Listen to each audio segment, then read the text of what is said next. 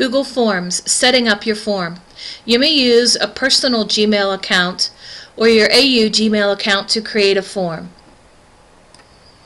This tutorial features your AU Gmail account. Log into your account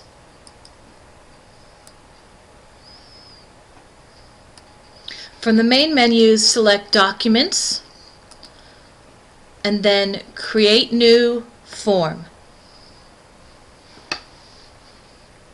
The Form Wizard will open and display in a new window.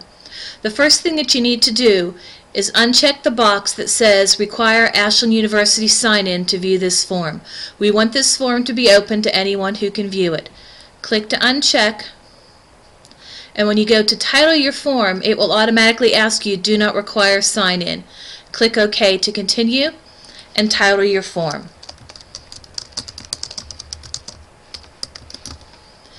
The next thing you need to do is have an introduction to your form. Enter your introduction here. This paragraph should include the purpose of your form, whether it's a survey, quiz, review, or other option, and the data you are collecting. Make sure your students understand why are they completing the form for your class. Take time to save your form. The next thing we're going to do is choose a theme. Select the theme button.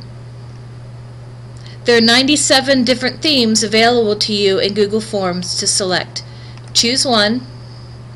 If you don't like it, hit cancel and work your way through to the next. Take a few minutes to select the one that will most complete the purpose of your form.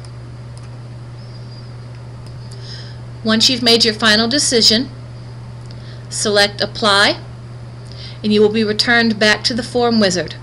Take note that at any time you can view your published form by clicking on the link at the bottom of the page. When you do so, a new window will open. Make sure this is how you'd like your form to look. Close the window and return to your form wizard. Be sure to click Save. And now you're ready to move on to the next video tutorial.